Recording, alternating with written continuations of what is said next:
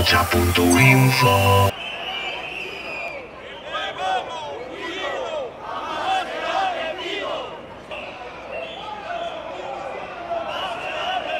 Pedimos que las pensiones sean una cosa fija, que dependan del gobierno como pueden depender los militares y como dependen otras secciones que no les falta dinero. O sea, que la pensión sea un dinero aparte que sea inamovible. Este año no vamos a tener pensión, la que viene nos van a bajar, la siguiente nos van a quitar, ahora nos van a subir un 1,6, pero si no sube el, petróleo, si sube el petróleo tampoco.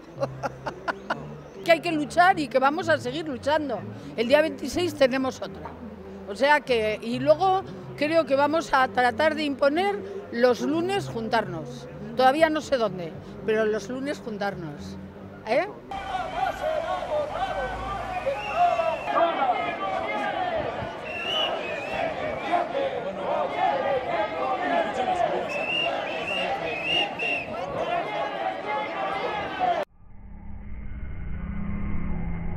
cha cha.